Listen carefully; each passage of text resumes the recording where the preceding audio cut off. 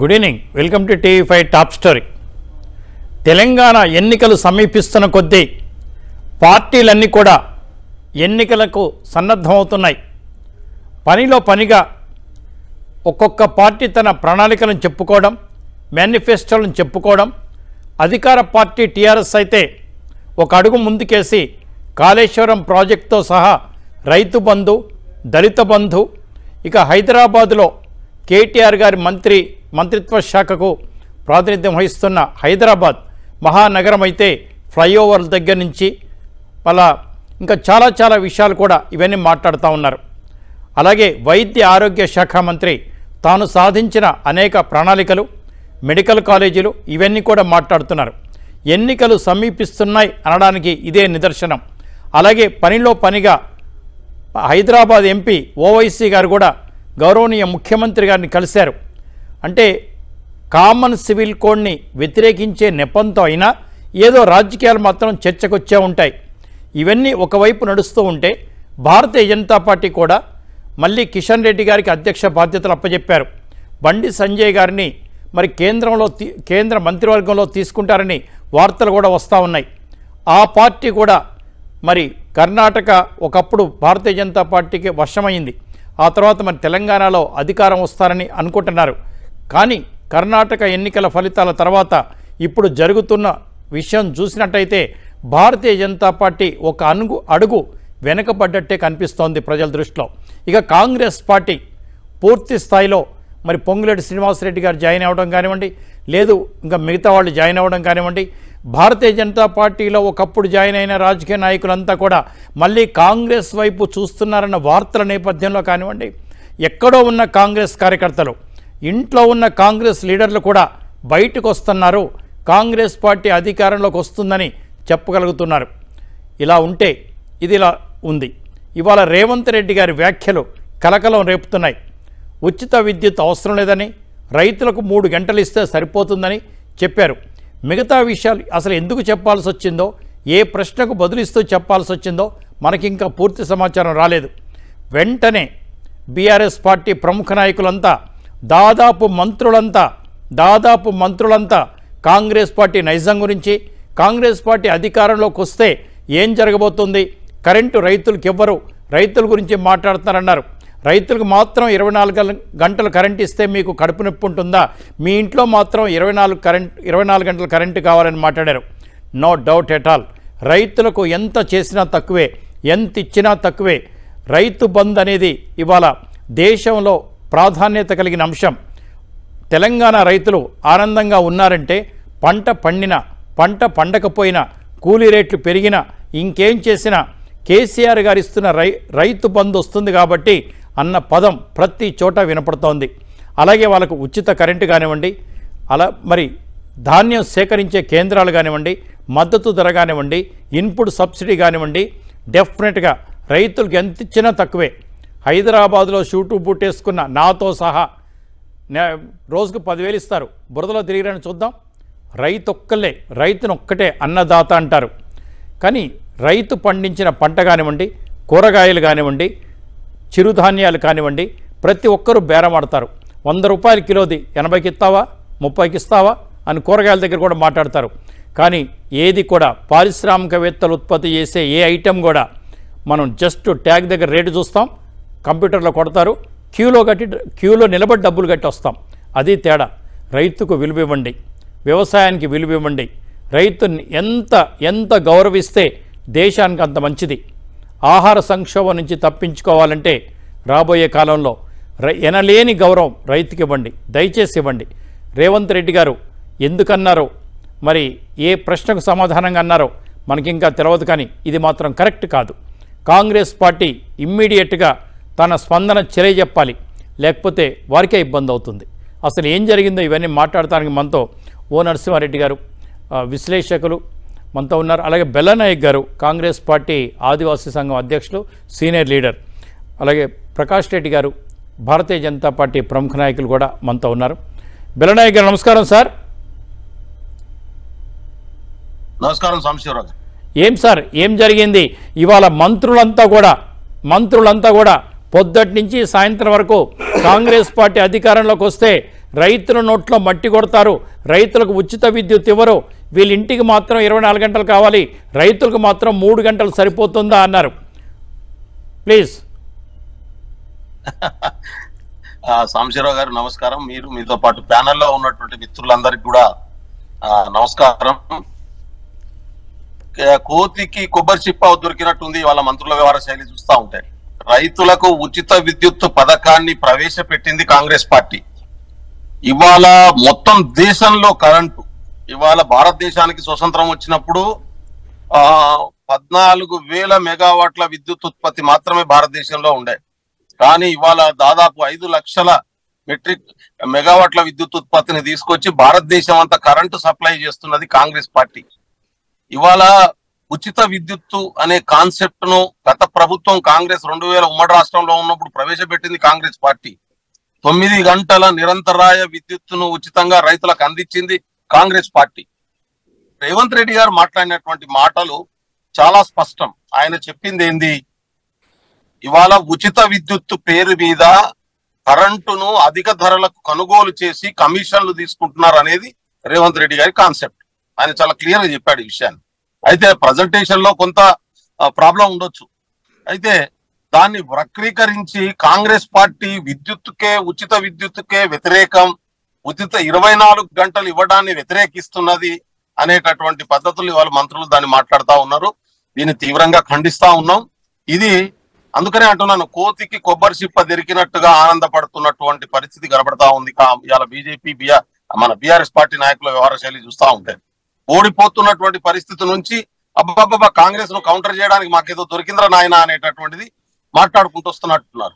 కానీ కాంగ్రెస్ పార్టీ రైతు డిక్లరేషన్లోనే చాలా స్పష్టంగా చెప్పినటువంటి విషయాన్ని కూడా గతంలో రాహుల్ గాంధీ గారు వచ్చినప్పుడు వరంగల్ మీటింగ్లోనే చెప్పినటువంటి విషయాన్ని కూడా ఈ సందర్భంగా చెప్తా ఉన్నాం. ఇప్పటికే ఉన్నటువంటి పథకాలను కొనసాగిస్తూ అదనంగా మేము చేయబోయే అంశాలు ఏమున్నాయి అనేటటువంటి విషయాన్ని చెప్పాం.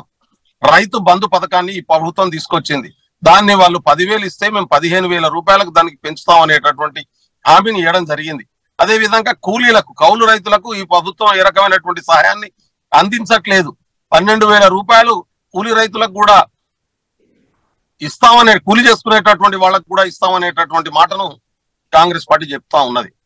దాంతో పాటుగా నేనంటా ఉన్నాను ఇరవై నాలుగు గంటల కరెంటు ఖచ్చితంగా కాంగ్రెస్ పార్టీ ఇస్తుంది. అయితే వీళ్ళు ఏదైతే చెప్తున్నారో ఇప్పుడు కొత్త విద్యుత్తును కేసీఆర్ వచ్చినాక కనుక్కున్నాడు. కేసీఆర్ వచ్చినాక ప్రొడక్షన్ మొదలైంది అనే పద్ధతిలో మాట్లాడుతా ఉన్నారు. కానీ ఉమ్మడి రాష్ట్రం నుంచి అన్ని ఆస్తుల పంపకాలు జనాభా ప్రాతిపాదిక మీద జరిగితే ఒక విద్యుత్తు పంపకం మాత్రమే వాడకం ప్రాతిపాదిక మీద జరిగింది. మీకు తెలుసా విషయం? నాలుగు యాభై ఎనిమిది శాతం తెలంగాణకు విద్యుత్ వచ్చింది అంటే కాంగ్రెస్ పార్టీ విభజన చట్టంలో పెట్టినటువంటి అంశం అనే విషయాన్ని ఈ సందర్భంగా నేను గుర్తు చేయదలుచుకున్నాను. పైగా బీజేపీ పార్టీ సీలేరు ప్రాజెక్టును ఏడు మండలాలను కలపడంతో మూడు వందల అరవై రోజులు విద్యుత్ ఉత్పత్తి అయ్యేటటువంటి సీలేరును తెలంగాణ కోల్పోవాల్సి వచ్చింది. దానికి నోరు మూసుకొని కూర్చున్నటువంటి పార్టీ ప్రభుత్వం ఆ రోజు ఇదే కేసీఆర్ ప్రభుత్వం అనే విషయాన్ని ఈ సందర్భంగా నేను గుర్తు గారు చేయదలుచుకున్నాను రేవంత్ రెడ్డి గారి వ్యాఖ్యల మీద నేను మీరు ఇంత సుదీర్ఘంగా కాదు. రేవంత్ రెడ్డి గారి వ్యాఖ్యల్ని ఖండిస్తున్నారా? అది కాంగ్రెస్ పార్టీ వ్యాఖ్యలు కాదా? మరి పార్టీ ప్రెసిడెంట్ మాట్లాడిన దాని మీద ఇవాళ నేరుగా మంత్రులు మాట్లాడుతున్నారు. రేవంత్ రెడ్డి గారి వ్యాఖ్యల్ని వక్రీకరిస్తున్నారని చెప్తున్నాను నేను. రేవంత్ రెడ్డి గారు ఏం చెప్పారు? ఇవాళ ఛత్తీస్గఢ్ నుంచి విద్యుత్ కొనుగోలు చేస్తామని చెప్పి వెయ్యి కోట్ల రూపాయలు ఛత్తీస్గఢ్ ప్రభుత్వానికి ఇచ్చారు వీళ్ళు. ఒక్క యూనిట్ విద్యుత్ అన్న ఆడికెళ్ళి తీసుకొచ్చారా? తీసుకురాకపోతే ఎందుకు అగ్రిమెంట్ చేసుకున్నారు మీరు? ఎందుకు డబ్బులు పే చేశారు? ఏ ఎవరి డబ్బులు అవన్నీ? అంటే విద్యుత్తు కొనుగోలు పేరు మీద జరుగుతున్నటువంటి అవినీతి ఆ అవినీతి ముసుగులో విద్యుత్ కొనుగోలు ముసుగులో రైతులను చేస్తున్న భజనం రైతులను అడ్డం పెట్టి రైతులకు ఉచిత విద్యుత్తు ఇస్తున్నామనే పేరు మీద చేస్తున్నటువంటి వివరణ తీసుకుందాం. బెలనాయక్ గారు నరసింహారెడ్డి గారి దగ్గర వివరణ తీసుకున్న తర్వాత వేరే సబ్జెక్ట్కి వెళ్దాం. నరసింహారెడ్డి గారు నమస్కారం సార్. నమస్కారం అండి.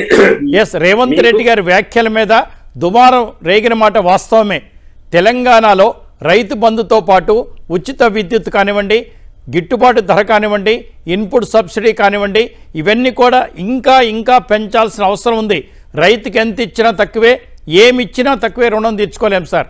రేవంత్ రెడ్డి గారి వ్యాఖ్యలు మరి వాళ్ళ మంత్రులంతా ఖండించారు. దాంట్లో మరి బెల్లనాయ్ గారు చెప్పిన ప్రకారం అయితే విద్యుత్ ఇరవై నాలుగు గంటల పేరిట వేరే రాష్ట్రాల నుంచి ఎక్కువ ధరకి కొంటున్నట్టుగా చేసి స్కామ్ జరుగుతుందని చెప్పారు వాళ్ళు. ప్యానెల్లో ఉన్న మీకు తర్వాత బెల్లా నాయక్ గారికి ప్రకాష్ రెడ్డి గారికి టీవీ ఫైవ్ వీక్షకులు అందరికీ నమస్కారాలు మీకు మొదటగా ధన్యవాదాలు సాంబశివరావు గారు. రైతుల గురించి మీకున్న కన్సర్న్ కానీ మీరు రైతుల పట్ల మీరు చూపిస్తున్న మీకున్న ఏమంటారు ఆ భావన మనం మొదటి నుంచి కూడా చూస్తున్నాం ఒక ఆర్గనైజేషన్లో పనిచేసినాం కాబట్టి ఇట్లాంటి భావన ప్రతి భారతీయునికి కంపల్సరీ ఉండాలి. దాంట్లో ముఖ్యంగా రాజకీయ నాయకులకు ఉండాలి రైతులను గౌరవించాలనేది మీరు చెప్పిన దానికి అభినందిస్తూ బెల్లనాయక్ గారు వివరణ ఇచ్చినారు కానీ రేవంత్ రెడ్డిగా పిసిసి అధ్యక్షుడు ఉన్నది ఏంటంటే మూడు గంటలు చాలంటున్నాడు ఆయన. తర్వాత మాట మార్చి మళ్ళీ ఎనిమిది గంటలు చాలన్నాడు. తర్వాత తొమ్మిది గంటలు మేమే ఇచ్చినాం అన్నాడు మధుయాష్కి గారు ఇరవై నాలుగు గంటలు కరెంట్ ఇవ్వాలంటున్నారు ఇప్పుడు బెల్లనాయక్ కూడా ఇరవై నాలుగు గంటలు కరెంట్ ఇవ్వాలని తప్పకుండా ఇస్తామంటున్నారు. మీరు ఇస్తారు మరి మీ అధ్యక్షుడు ఇవ్వనంటున్నాడు. అధ్యక్షుడు క్లియర్గా చెప్పినాడు మూడు ఎకరాలకు మూడు గంటలు చాలని. వ్యవసాయం గురించి తెలిసి మాట్లాడుతున్నారా? రేవంత్ రెడ్డి గారు తెలియక మాట్లాడుతున్నారా? గంటకు ఒక ఎకరం బారుతుందా అండి? గంటకు ఒక ఎకరం బారుతుందా తెలంగాణలో? ఈ వ్యవసాయానికి గంటకు ఒక ఎకరం ఇస్తే సరిపోతుంది. దీనికి అవినీతి అంటగట్టి ఎక్స్ట్రా అంటున్నారు. నా క్వశ్చన్ బెల్లడాయ గారికి ఏంటంటే రైతుల పట్ల అంత చిన్న చూపున్న రేవంత్ రెడ్డిని మీరు పిసిసి అధ్యక్షుడిగా ఎన్నుకోవటమే ఉంచుకోవటం అనేదే కాంగ్రెస్ పార్టీకి పెద్ద దరిద్రం అది. ఆయనకు సంబంధించి ఏ మాటలు మాట్లాడినా కానీ ఆయన కరెక్టే మాట్లాడినా మీరు అనుకోవటము మీలాంటి విఘ్నులు మీరు వేరే ఆర్గనైజేషన్లో పనిచేస్తున్నారు. గిరిజనుల హక్కుల కోసం కొట్లాడుతున్నారు మీరు రేవ- బెల్లనాయక్ గారు. మీరు ఆలోచించండి ఆలోచించి మాట్లాడండి. ఉచిత కరెంటు వేస్ట్ అన్నమాట నిజం కదా? రేవంత్ రెడ్డి గారు మాట్లాడింది. రెండవది అన్ని వర్గాలకు ఇరవై నాలుగు గంటలు కరెంటు ఉండాలంటారు సాంబశివరావు గారు. ఇప్పుడు వాణిజ్య భవనాలకు గృహ అవసరాలకు వీళ్ళ ఇళ్ళలో మాత్రం ఏసీలు పనిచేయాలి ఇరవై నాలుగు గంటలు. నేను నాలుగు గంటలు పనిచేసే పది గంటలు పనిచేసే షాపులకు ఇరవై నాలుగు గంటల కరెంట్ ఉండాలి. రైతు ఎప్పుడైనా వాడుకునే అవకాశానికి ఇరవై నాలుగు గంటల కరెంట్ ఇచ్చినాం. అది గుర్తుపెట్టుకోండి. ఎప్పుడు వాడుకుంటే రైతుకు ఆ సౌకర్యం ఇవ్వద్దా? మిగతా వర్గాలకు ఇవ్వాలి ఇవ్వాలి. రైతులకేం ఎందుకో ఇవ్వద్దంటారండి రేవంత్ రెడ్డి గారు? ఇదేం న్యాయం అండి? ఇది పక్షపాత ధోరణి కదా? రైతుల పట్ల చిన్న చూపు కాదా ఇది? అని నేను బెల్లనాయక్ గారిని అడుగుతున్నాను. ఒక షాప్ ఉంటుందండి. హైదరాబాద్లో కొన్ని షాపులు ఉన్నాయి. పది గంటలు పది గంటలకు ఓపెన్ చేసి ఏడు గంటలకు బంద్ చేస్తారు. అక్కడ ఇరవై నాలుగు గంటల కరెంట్ ఇవ్వాలి అక్కడ. రైతులు ఎప్పుడు పెట్టుకుంటే మీకేంటి? ఎన్ని ఎకరాలు పెట్టుకుంటే మీకేంటి? ఇరవై నాలుగు గంటల కరెంట్ ఇవ్వటం అనేది రైతులకు ఇవ్వటం అనేది వారు కోరుకునే హక్కు. కంపల్సరీ ఏ ప్రభుత్వం అది ఇవ్వవలసిందే. కేసీఆర్ గారి ప్రభుత్వం అందుకే దానికి కమిట్ అయ్యి ట్వంటీ ఫోర్ అవర్స్ విద్యుత్ విద్యుత్ ఇవ్వటం జరుగుతుంది. ఇరవై ఏడు లక్షల బోరు బావులు ఉన్నాయి తెలంగాణలో. వాటన్నిటికీ ఇవాళ బిల్లులు లేకుండా వాళ్ళు హాయిగా వ్యవసాయం చేసుకుంటున్నారు రైతులు. మీకు తెలుసు సాంబశివరావు గారు ఉచిత కరెంట్ అనేది వ్యవసాయంలో ఒక ఇనిగ్రేట్స్లో అదొక భాగం ముఖ్య భాగము. ఇవాళ ఏది ఏది లేకుండానే భారతదేశంలో విద్యుత్ వినియోగంలో నెంబర్ వన్గా తెలంగాణ రాష్ట్రం ఎట్లుందండి? రెండు వేల పద్నాలుగు కంటే ముందు వ్యవసాయ సేద్యం ఎంత? ఈనాడు వ్యవసాయ సేద్యం ఎంత? విస్తీర్ణ ఎంత జరిగింది? పంట పంట ఉత్పత్తి ఎంత పెరిగింది? ఒకటే ఉదాహరణ చెప్తాను. పోయిన ఏసంగిలో భారతదేశంలో మొత్తం వరి సేద్యము తొంభై ఆరు లక్షల ఎకరాలు. సాంబశివరావు గారు ఒక్క తెలంగాణలో యాభై ఆరు పాయింట్ నాలుగు లక్షల ఎకరాల వరి సేద్యం జరిగింది. ఇది ఉచిత విద్యుత్ లేకుండే జరుగుద్దా? ఇంకొకటి మీరు రైతుల పట్ల మీరు అంటున్నారు కదా మా రాజశేఖర రెడ్డి గారు పెట్టినని తొమ్మిది గంటల రెండు వేల నాలుగులో రాజశేఖర రెడ్డి గారు ఉచిత కరెంటు నినాదంతోనే అధికారంలోకి వచ్చినారు. తొమ్మిది గంటల కరెంట్ ఇస్తానన్నాడు. ఇవ్వలేకపోయిందనేది కూడా వాస్తవం. ఈ రాజశేఖర రెడ్డి గారు తొమ్మిది గంటల కరెంట్ ఇస్తానన్నప్పుడు రేవంత్ రెడ్డి గారు తెలుగుదేశంలో ఉండి కొట్లాడి కరెంట్ ఇస్తలేడని. రాజశేఖర్ మీద కొట్లాడి చేసిండు చంద్రబాబు నాయుడుతో నుండి. అది మర్చిపోతుంది బెల్లనాయక్ గారు. ఆయనకి ఇష్టం లేదు రైతులు కరెంట్ ఇవ్వడం అనేది మీ రేవంత్ రెడ్డి గారికి నర నరాన ఇష్టం లేదు.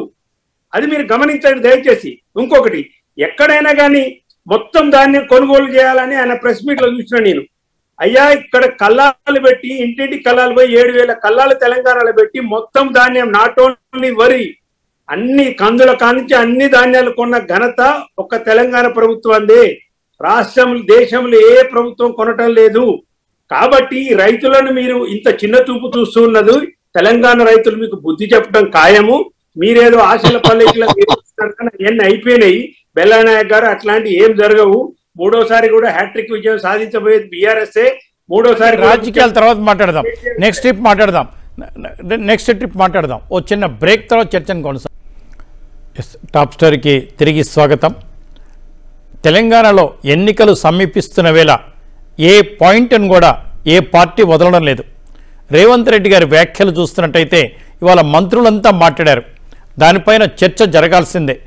ఏ రాజకీయ పార్టీ అయినా రైతులకు ఎంత చేస్తారు ఫలానా పార్టీ అధికారంలోకి రావడం రాకపోవడం కాదు సమస్య. ఏ పార్టీ అధికారంలోకి వచ్చినా రైతులకు ఏవైతే సదుపాయాలు అందుతున్నాయో దానికి మిన్నగా అందాలి తప్ప తక్కువ ఉండకూడదు. అయితే బెల్లనాయక్ గారు మీ ఇద్దరికి కూడా నాకు ఒక వ్యక్తిగత ప్రశ్న ఏమనుకోవద్దు. కాళేశ్వరం ప్రాజెక్టు ద్వారా కోటి ఎకరాలకు నీళ్ళు ఇస్తున్నారు ఇప్పుడు కేసీఆర్ గారి ప్రభుత్వం. అంతకు ముందున్న ల్యాండ్ మనకు తెలుసు. ఇంకా బోర్ల మీద వ్యవసాయం చేస్తుంది ఎవరు? పండిస్తున్న పంట ఏంటి? మరి ఒకవేళ కనుక తప్పేం లేదు. బోర్లు వాడాల్సిందే పంట పండించాల్సిందే దాని ఖర్చు కూడా మనం పెట్టుకోవాల్సిందే. కానీ నరసింహారెడ్డి గారు మీరు విఘ్నులు.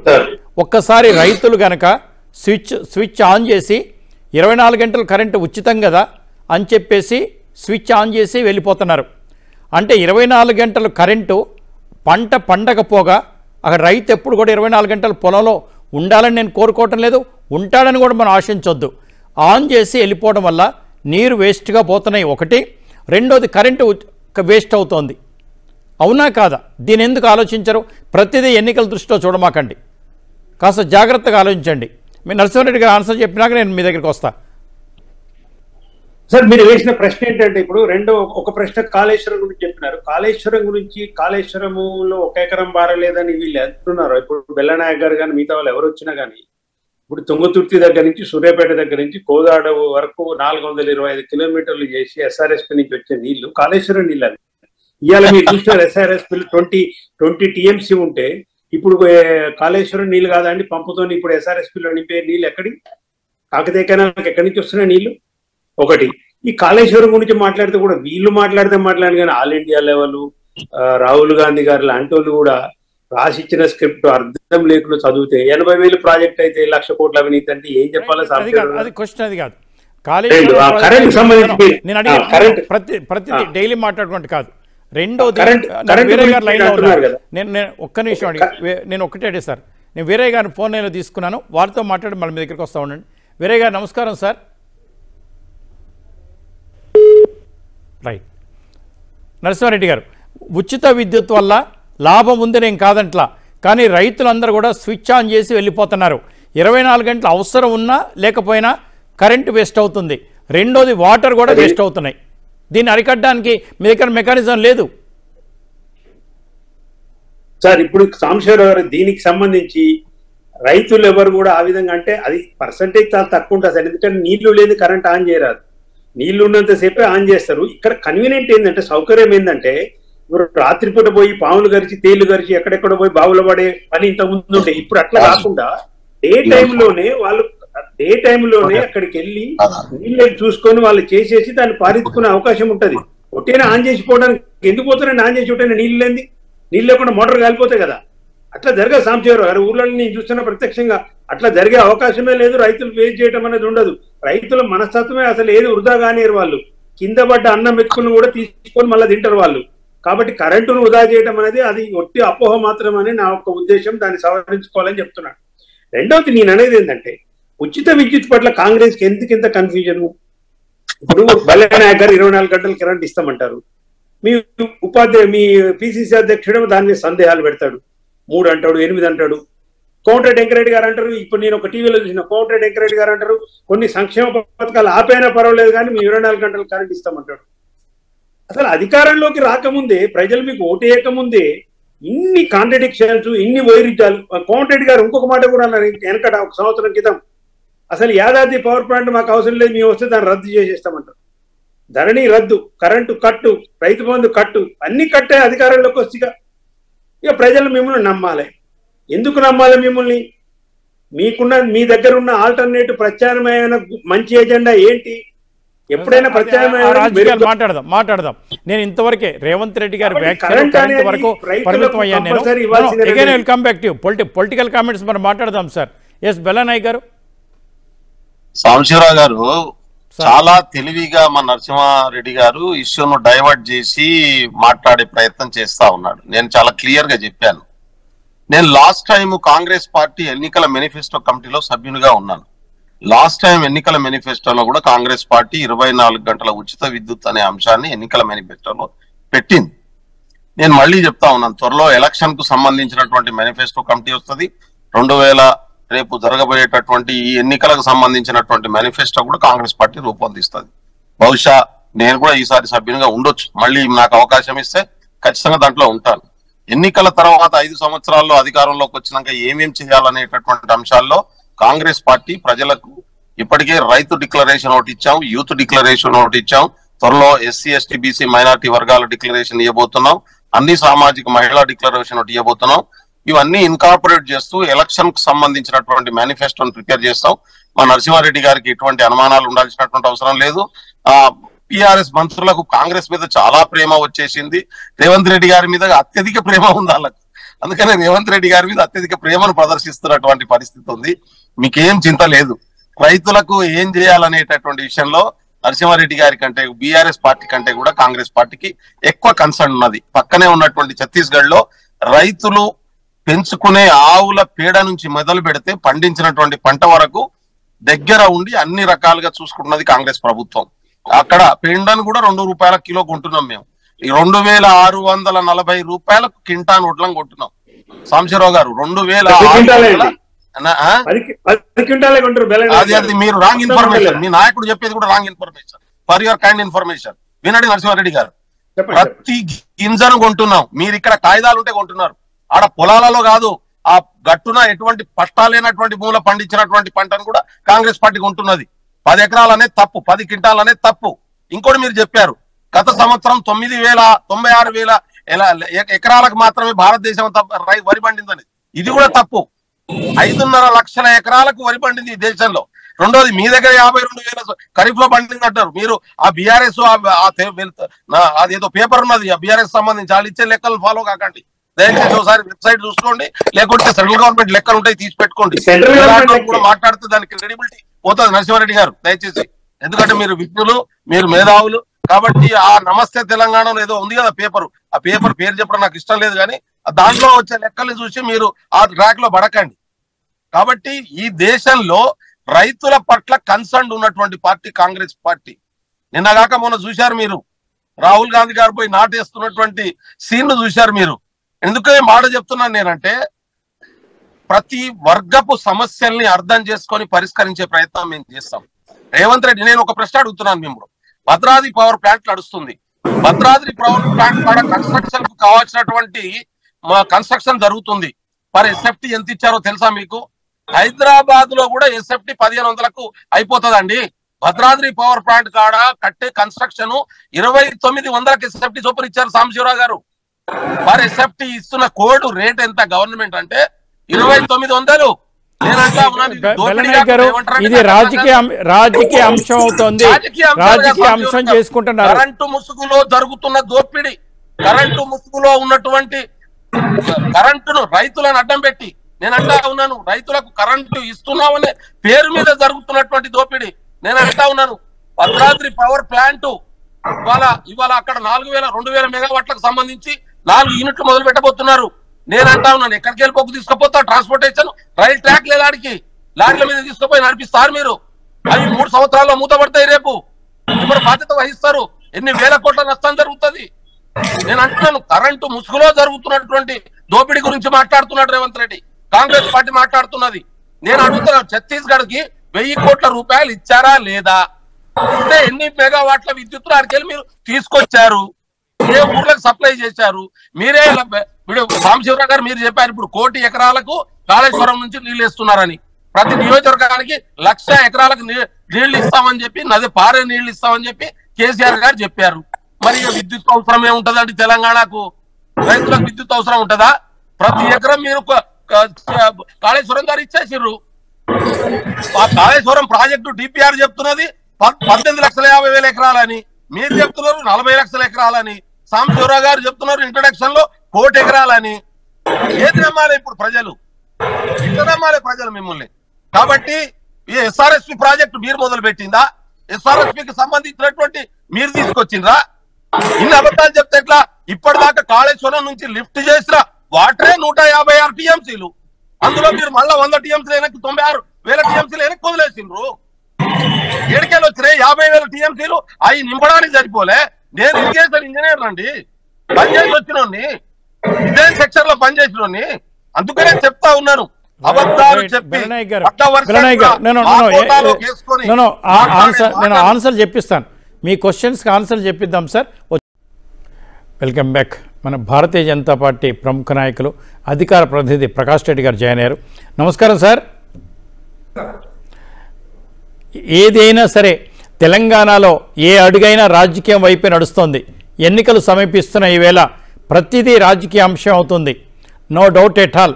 రెండు వేల యాభై సంవత్సరానికల్లా ప్రపంచానికి అన్నం పెట్టే స్థాయికి భారతదేశం ఎదుగుతుంది ఎదగాలి కూడా. దానికి అనుగుణంగా మరి మీరు నదుల అనుసంధానం ఎట్టి పరిస్థితుల్లో కూడా ప్రారంభించాలి. ఇంతవరకు మీరు అధికారంలోకి వచ్చినాక ఒక్క మేజర్ ప్రాజెక్ట్ కానీ నీటిపారుదల ప్రాజెక్ట్ కానీ ఒక మేజర్ ఇండస్ట్రీ కానీ ఇంతవరకు ప్రారంభించలేదు. అవి మీరు స్టార్ట్ చేయాల్సిందే. భావితరాల్ని దృష్టిలో పెట్టుకోండి. ఇవాళ తెలంగాణ వైపు చూస్తున్నట్టయితే ఉచిత విద్యుత్ మీద కాంగ్రెస్ పార్టీ బీఆర్ఎస్ పార్టీ ఎలా మాట్లాడుకుంటున్నారు మీరు చూశారు. మరి మీ పార్టీ ఏం మాట్లాడుకుంటున్నారు? ఏమనుకుంటున్నారు? రైతులకి తోతికంగా ఇంకా సహాయం చేయాలంటే ప్రణాళికలు ఏమిటి సార్ పెద్దలందరికీ నమస్కారం. బట్ నేను ఒక విషయం ఏంటంటే కరెంట్ ఇస్తే రైతులంతా హ్యాపీ అంటే నేనైతే ఒప్పుకోను సార్. లేదా నీళ్ళు ఇస్తే రైతులంతా హ్యాపీ. అంటే మీకు సాంబశ్వర గారు గుర్తుండి ఉంటది అమలాపురంలో అమలాపురం అంటే కోనసీమలో. కోనసీమలో రైతులు పంట విరామాన్ని ప్రకటించారు. అంటే ఆయన నీళ్ళు లేకనా? మొత్తం ఆసియా ఆసియా ఖండంలోనే అత్యంత సారవంతమైనటువంటి భూమి గో గోదావరి డెల్టా. గంగా డెల్టా కంటే బ్రహ్మపుత్ర డెల్టా కంటే సారవంతమైనటువంటి గోదావరి డెల్టా ప్రాంతంలో రైతులు పంట విరామాన్ని ప్రకటించడానికి వాళ్ళ నీళ్ళు లేకనా? సారం లేకనా? పెట్టుబడి ఖర్చులు ఎక్కువైతున్నాయనా? ఎందుకు అంటే అక్కడే సమస్య వస్తుంది.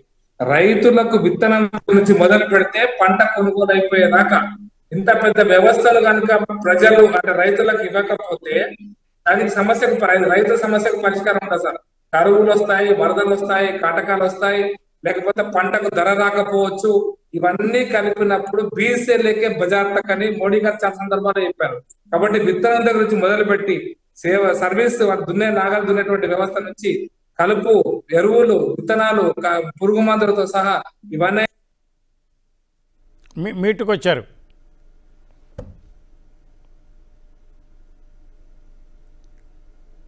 వర్షం సారీ నిజమైన సార్. వర్షం పడితే ఇన్సూరెన్స్ నుంచి మొదలు పెడితే ప్రతిదీ కూడా ప్రతిదీ కూడా రైతులకు చాలా ఇంపార్టెంట్ అంశమే సార్. కాబట్టి నేనేమో ఫోన్ చేస్తున్నట్టుంది దున్నటం ఇవ్వాలి సబ్సిడీ మీద ఇవ్వాలి సబ్సిడీ మీద దాంతో పాటు కోత కోత మిషన్ సబ్సిడీ మీద ఇవ్వాలి ఎరువుల సబ్సిడీ మీద ఇవ్వాలి. కొన్ని పండినటువంటి పంటకు గిట్టుబాటు ధర రావాలి. నాట్ ఈవెన్ ఎంఎస్పి కాదు గిట్టుబాటు ధర రావాలన్న పదం మళ్ళీ నేను గట్టిగా ఒక్క నుంచి ఎందుకు చెప్తున్నా అంటే ఎంఎస్పి అనేది మనుషులను బతికించడం కోసమే తప్ప ఆరోగ్యవంతంగా ఉంచడం కోసం కాదు సార్. ఎంఎస్పి రైతులు కష్టపడకుండా నష్టపోకుండా ఇచ్చేది ఎంఎస్పి ఎంఎస్పి కంటే ఎక్కువ ధర వచ్చేటట్టుగా చూడాలి బజార్లో. ఎంఎస్పి ప్రభుత్వం ఆదుకుంటుంది కానీ ఎంఎస్పి కంటే ఎక్కువ ధర వచ్చినట్టు చూడాలి. ఈ వ్యవస్థలన్నీ చేయడం దానికి వాల్యూ అడిషన్ తీసుకురావాలి. ఇవన్నీ కూడా వ్యవస్థలను సరిదిద్దడం అనేటువంటిది ప్రభుత్వ ఫెసిలిటేట్ ఇవ్వాలి రైతులు దానికి అనుగుణంగా స్పందించాలి. కాబట్టి మేము కరెంట్ ఇస్తున్నాం కాబట్టి రైతులంతా హ్యాపీ మేము ఇది ఇస్తున్నాం కాబట్టి రైతులంతా హ్యాపీ ఇది కాదు సార్. ఇప్పుడు మీకు కోరస్ మనకు ఈస్ట్ వెస్ట్ గోదావరి జిల్లాలో కృష్ణా జిల్లాలో చాలా సందర్భాల్లో మనం చూస్తున్నాం సార్. తుఫాన్ వచ్చిందంటే మొత్తం పంట కొట్టుకపోతుంది. మరి అప్పుడు రైతులు లాభపడ్డట నష్టపడ్డట మరి రైతులు లాభం ఉన్నట్ట? లేదంట ముందెందుకు మన పోయిన సంవత్సరం గుంటూరు జిల్లాలో మిర్చి మొత్తం కొట్టుకపోయింది వర్షాలు వచ్చి. మరి లక్షన్నర రూపాయలు పెట్టుబడి అవుతుంది ఒక ఎకరా మిర్చి పండిలంటే అది సత్తనపల్లి కావచ్చు నరసరావుపేట కావచ్చు ఇంకోటి కావచ్చు. మరి అక్కడ రైతులు నష్టపోయినట్ట లాభపడ్డట అక్కడ నీళ్ళు ఉన్నాయి విత్తనాలు ఇచ్చినాం పంట వచ్చింది కానీ నష్టపోయింది పంట. దానికి ఎవరు బాధ్యత వహించుకున్న లక్షన్నర రూపాయలు ఒక ఎకరానికి ఖర్చు పెడితే ఏమవుతుంది అంటే దానికి వచ్చిన తర్వాత పదిహేను రూపాయలకు మిర్చి పడిపోయింది అనుకోండి సార్. పదిహేను వేలకు ఇంటర్ పడిపోయింది అనుకోండి. రైతుకు లాభమా నష్టం అంటే మీ ఖమ్మం జిల్లా చూసినారు ఒక రైతుకు చేతులకు ఆత్కాడిలే తీసుకపోయినటువంటి టిఆర్ఎస్ ప్రభుత్వం మిర్చి రైతునే. మళ్ళీ వేరే రైతు కాదు. మిర్చి ధర ఉద్దేశపూర్వకంగా తెలంగాణ తెలంగాణ గురించి రైతులు రైతుల హ్యాండ్ కప్స్ వేసి తీసుకపోయినటువంటి హాత్కాడీలు తీసుకపోయినటువంటి పరిస్థితి. కాబట్టి బీసీలకే బజార్ తక్ అనుకున్నప్పుడు కరెంటు కూడా ఒక భాగం అవుతుంది రైతాంగ స- సమస్యలను పరిష్కరించడం తప్ప అది మొత్తం రైతు మేము ఇచ్చేస్తున్నాం ఇరవై నాలుగు గంటల కరెంటు. కాబట్టి మా పని అయిపోయింది. ఏం లేదనుకున్నటువంటి టిఆర్ఎస్ యొక్క అభిప్రాయాన్ని నేను ఏకీభవించాను సార్. విత్తనాల ఎరువులు విత్తనాల మీద సబ్సిడీ లేదు. ఎరువుల మీద సబ్సిడీ లేదు. యాంత్రీకరణ సబ్సిడీ లేదు. కొన్నదానికి ఒడ్లు కేంద్ర ప్రభుత్వం కొంటున్న ఎఫ్సిఐ ద్వారా కొంటే మొత్తం నేనే కొంటున్నా. ఎవరు కొంటున్నా? దేశంలో ఐకేపీ సెంటర్లు పెట్టి నేనే కొంటున్నా. ఇంకెవరు కొంటలేదు భారతదేశంలో ఇక నేను ఒక్కనే ఉన్నా. రెండింటికంటే దురదృష్టం ఏంటంటే సార్ భారతదేశానికి అన్న అన్నం పెట్టి అన్నపూర్ణగా మారింది తెలంగాణ. ఈ భాషను అసలు ఎట్లా అర్థం చేసుకోవాలి? సాంబశివరావు గారు ఈ దేశంలో నూట నలభై కోట్ల మంది ప్రజలు ఉంటే ఎనభై నుంచి తొంభై కోట్ల మంది ప్రజలు గోధుమలు తింటారు సార్ అన్నం తిన్నారు సార్. అరవై డెబ్బై కోట్ల మంది అన్నం తినేది ఉంటే బెంగాల్ ఒరిస్సా ఆంధ్రప్రదేశ్ ఛత్తీస్గఢ్ ఇవన్నీ కూడా ఒడ్లు పండించే రాష్ట్రాలు. అస్సాం కూడా ఒడ్లు పండించే రాష్ట్రము.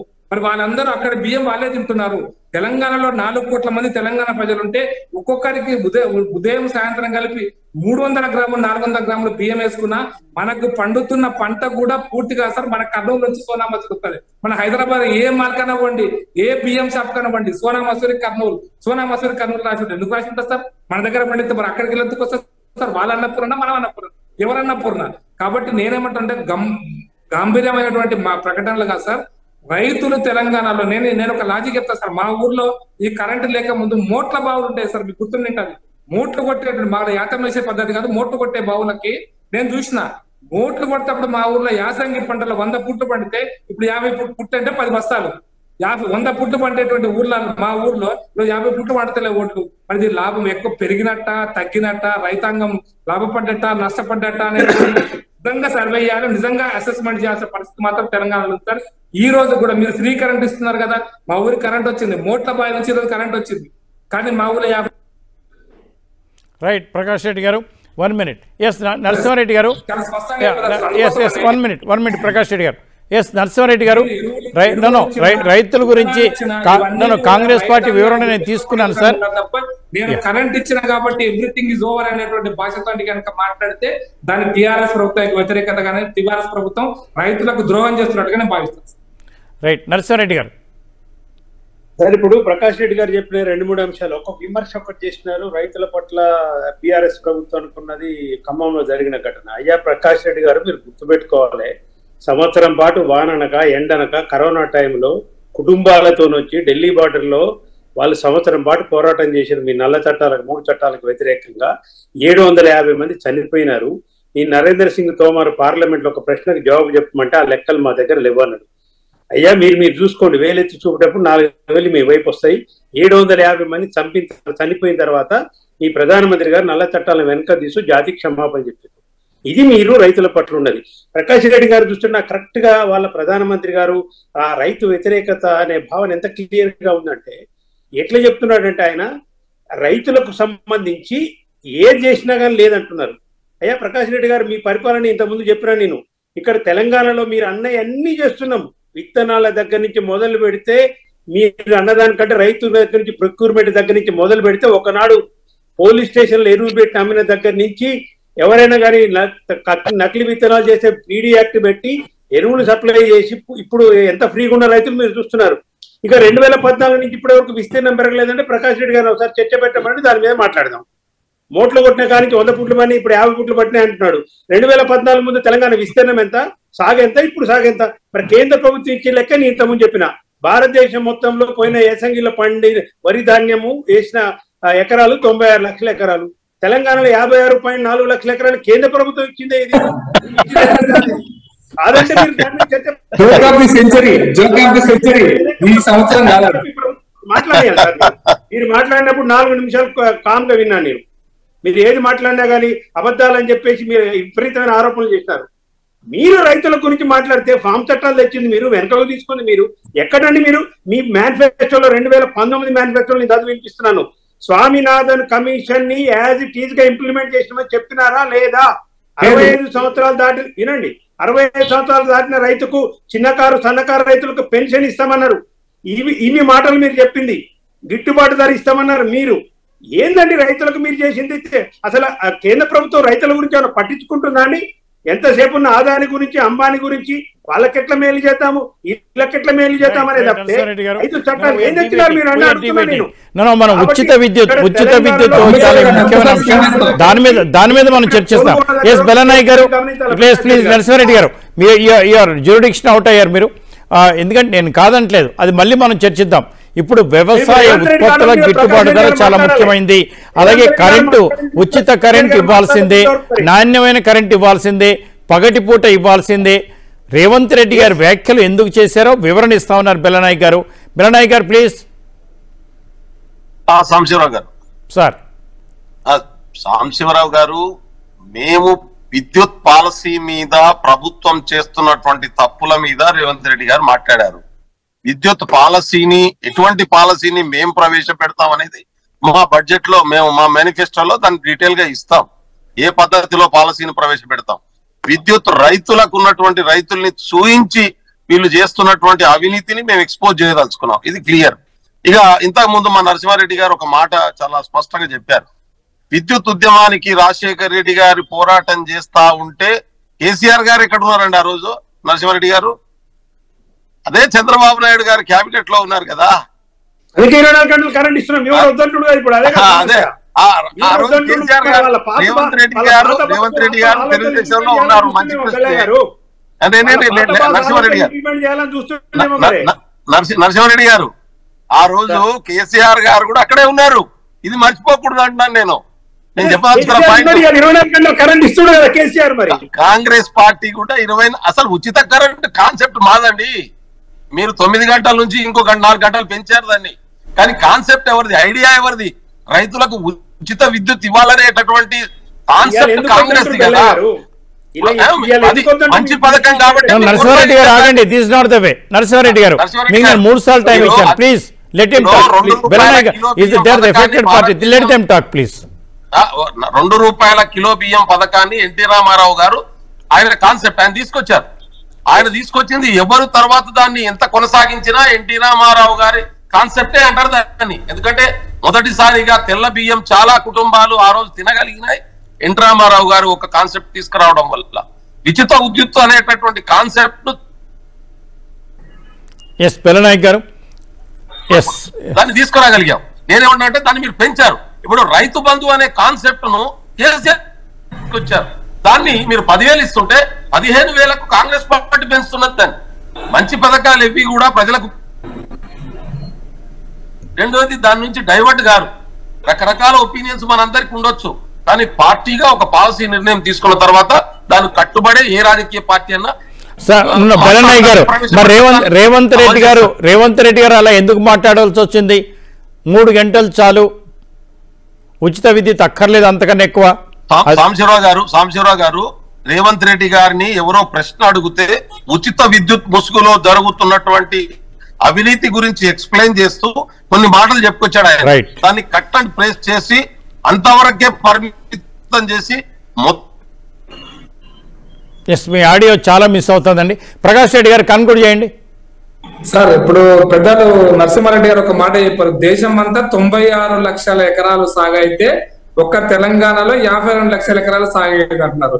లేదు సాంబశివరావు గారు నేను నమ్మితే నేను నేను తెలంగాణ ప్రజలు లేకపోతే ఇంకెవరైనా ఊళ్ళలో ఉన్న కేసీఆర్ మాట నమ్ముతారు అనుకుంటారు. కానీ సాంబశివరావు గారు మీరు సీనియర్ జర్నలిస్ట్ కదా. గోదావరి డెల్టా కృష్ణా డెల్టా లేకపోతే గంగా డెల్టా బ్రహ్మపుత్ర డెల్టా లేకపోతే సబర్మ నర్మదా నది వీటికంటే మహానది వీటికంటే పెద్దది తెలంగాణలో వ్యవసాయం జరుగుతుందా సార్? నాకు అర్థం కాలేదు. Yes, yes, ప్రకాష్ రెడ్డి గారు కరెక్ట్ అని మీరు చెప్పింది. సార్.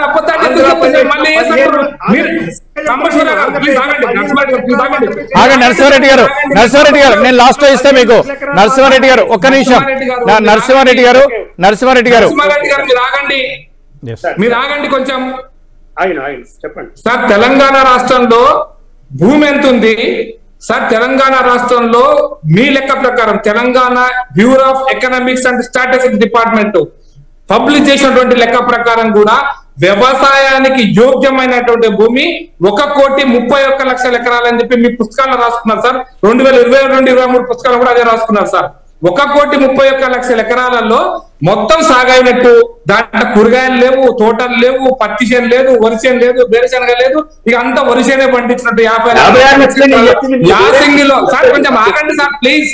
యాభై ఆరు లక్షలు నేను చెప్పింది నువ్వు. మొత్తం చెప్పలే. యాభై ఆరు లక్షల ఎకరాలు ఏ సంఖ్యలో సేద్యమైందని No, చెప్తున్నాను. నరసింహారెడ్డి గారు వారిని మళ్ళీ మీ దగ్గరికి వస్తా.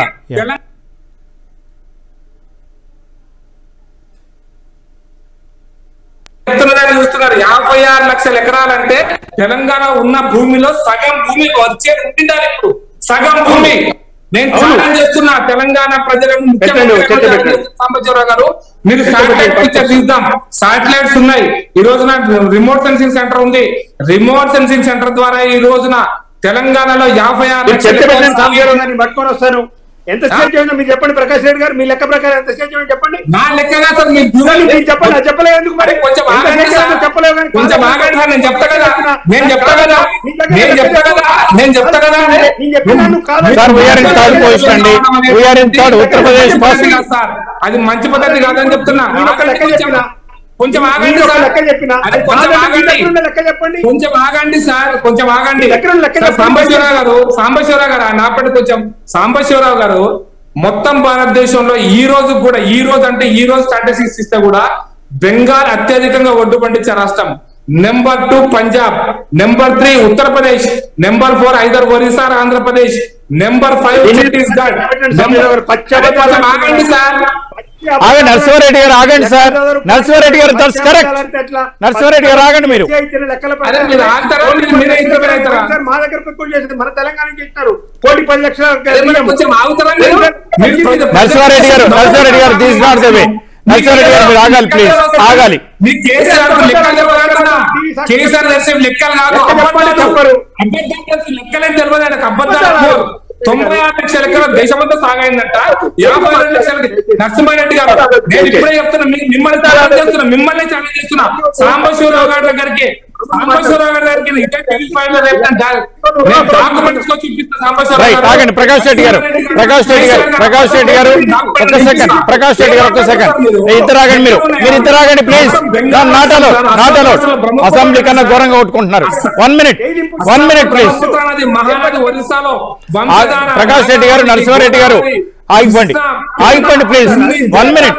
దాటిచ్చట తెలంగాణలో మీ కాళేశ్వరం తోటి యాభై ఒక్క నిమిషం ఆగండి. ప్రకాష్ రెడ్డి గారు, వినపడుతోందా? అది మంచి పద్ధతి కాదు. నేను నిన్న- ప్రకాష్ రెడ్డి గారు ఒక్క సెకండ్ ఒక్క సెకండ్ ఒక్క సెకండ్ నరసింహారెడ్డి గారు నో నరసింహారెడ్డి గారు నో నరసింహారెడ్డి గారు. ఇంకోసారి నో మీ ఇద్దరు ఇట్లా మాట్లాడుకుంటుంటే చర్చ కొనసాగదు. ఆగండి ప్రకాష్ రెడ్డి గారు ఒక్క ఒక్క సెకండ్ నరసింహారెడ్డి గారు ప్రకాష్ రెడ్డి గారు మాట్లాడింది కనుక సరిగ్గా విన్నట్టయితే మీకు మంచి అవకాశం ఉండుండేది కౌంటర్ చేయడానికి. ప్రకాష్ రెడ్డి గారు ఏం చెప్పారంటే నేను కూడా చదివాను sir. I think Bengal Uttar Pradesh Punjab even Tamil Nadu Andhra Pradesh తర్వాత ఉన్నట్టుగా ఉంది. అయితే వేసంగి పంట కూడా మాత్రం తెలంగాణ హైలైట్గా ఉంది sir. No doubt at all. అయితే ఈ గణాంకాలన్నీ కూడా సరైన గణాంకాలు మనం తెచ్చుకోవాలి. ఇవాళ మనం మాట్లాడుతుంది ఉచిత కరెంటు కాంగ్రెస్ పార్టీ అధికారంలోకి వస్తే ఎత్తేస్తారు అని బాగా ప్రజలు లేదా రైతులు ఆందోళన చెందుతున్న వేళ దాని గురించి మనం మాట్లాడుతున్నాం. వెల్లనాయక్ గారు చెప్పారు మెరుగైన విధానాన్ని తీసుకొస్తాను తప్ప తీశారని అది మనకు కావాల్సింది. ఎట్టి పరిస్థితుల్లో కూడా ఏ ప్రభుత్వం అధికారంలోకి వచ్చినా రైతులకు ఉచిత కరెంటు నాణ్యమైన కరెంటు ఇవ్వాల్సిందే గిట్టుబాటు ధర ఇవ్వాల్సిందే మెరుగైన పథకాలు సాధించాల్సిందే. ఏ పార్టీ అయినా వే ఏ వ్యక్తి అయినా సరే రైతుకు గనుక గౌరవం ఇవ్వకపోతే వాడు మనిషి కింద లెక్క కాదు. Hundred percent. ప్రకాష్ రెడ్డి గారికి నరసింహారెడ్డి గారికి నేను మీరు మీరు ఒకసారి నేను ఎప్పుడైనా మీరు నాకు ఫోన్ చేయండి సార్. మీ దగ్గర ఉన్న గణాంకాలతో ఎల్లుండి ఐఎమ్ గివింగ్ డేట్ ఆల్సో మీ ఇద్దరు రెడీగా ఉంటే ఎన్ని ఎకరాలు వరి పండింది ఎన్ని ఎకరాలు పత్తి పండింది ఎన్ని ఎకరాలు మొక్కజొన్న పండింది ఎన్ని ఎకరాలు కంది పండింది ఎన్ని ఎకరాలు పసుపు పండింది ఎన్ని ఎకరాలు వేరే ధాన్యాలు పండాయి. లెక్క తీసుకురండి. డెఫినెట్గా మనం ప్రజల ముందు చెప్దాం సార్. మెరుగైన మెరుగైన ఫలితాలు ఆశిద్దాం మనం తప్పకుండా. చర్చలో పాల్గొన్న ప్రకాష్ రెడ్డి గారికి నరసింహారెడ్డి గారికి అండ్ బెలనాయక్ గారికి ధన్యవాదాలు. ఇది వాళ్ళ టాప్ స్టోరీ.